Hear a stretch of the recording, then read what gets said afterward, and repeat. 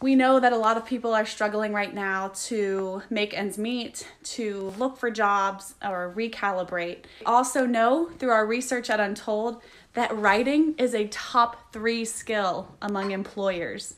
And people who write with fewer grammar mistakes are two and a half times more likely to get promoted into leadership positions and get the job in the first place.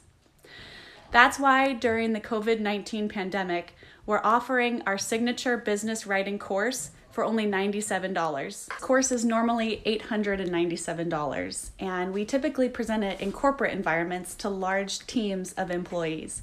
But we want to make sure that you can access it. So you can take the course online, it's fully self paced. And it takes about five hours to complete. If you do all the exercises and the quizzes inside the course, it takes about 10 hours. But the beautiful thing is, you can listen to each of the modules as a podcast or as a video or as a transcript or a slide deck. So, whatever way you learn best, you'll get the content. The course starts off with a very quick refresher on grammar and style because let's face it, typos and grammar mistakes are embarrassing and you have to be you have to be competent with that before you can move on to more complex aspects of writing. So, the second lesson in the course is all about writing clearly. So, how do you make sure people get what you're saying? There are a lot of really smart stylistic things that you can have in your arsenal to be prepared to write with clarity. The third lesson is all about writing concisely. This is for you engineers out there who need a refresher. Writing concisely is actually really fun. Taking a long sentence and being able to pare it down into only the most important words.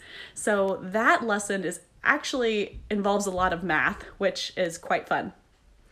Lesson 4 is all about writing with context. So making sure you're giving enough context to meet people where they're at. And then lesson 5, the final one is all about writing with culture in mind. So, how do you write for gender inclusivity and accessibility for people who have disabilities? It's a really powerful way to end the course because it empowers you to write as a professional in today's modern world.